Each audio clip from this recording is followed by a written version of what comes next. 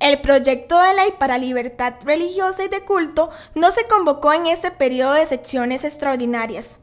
Este dependerá de cuántas mociones propongan los diputados de otras fracciones. Costa Rica es el único país del continente cuyo Estado tiene una afiliación religiosa. Un Estado laico requiere de una reforma constitucional.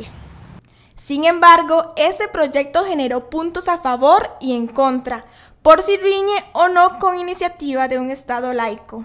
Lo que nosotros identificamos es que algunos han tomado el tema del Estado laico para querer sacar a Dios de todo y para que las religiones más bien, lejos de tener libertad, lejos de que haya libertad religiosa, más bien haya opresión en contra de las distintas iglesias de todas las denominaciones. Entonces, yo creo que un, un, tema no tiene que ver con el otro. Como les repito, Estado laico puede perfectamente aprobarse o no aprobarse y el proyecto nuestro también.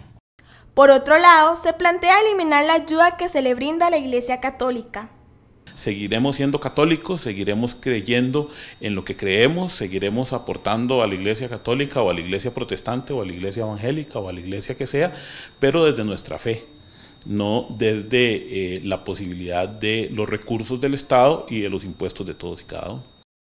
La ley plantea brindar exoneración de impuestos y la posibilidad de recibir donaciones públicas para las iglesias no católicas.